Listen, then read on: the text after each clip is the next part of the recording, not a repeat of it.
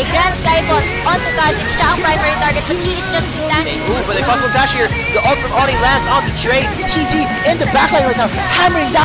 The Dragon, ooh, the hook lands once again onto AJDY. The Solar Flare comes up. A teleport coming from Porosu. Wow, a two-man beach. Na ginagawa ng ano eh, mga ADR. Okay, engagement. Okay, so, Bakan by Sencho, there is the spell shield from EXO. Who is